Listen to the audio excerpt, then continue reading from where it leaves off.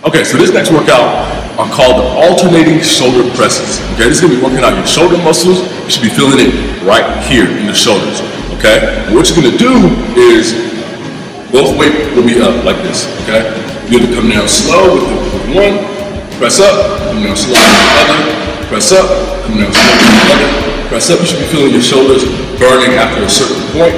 Use heavy enough dumbbells where your shoulders can be burning. Don't be using that lightweight around here so that we can get the muscle working, okay? We're focusing on keeping the weight up and keeping the chest up a little bit so that you can keep the shoulders contracting. Easy peasy lemon squeeze, okay?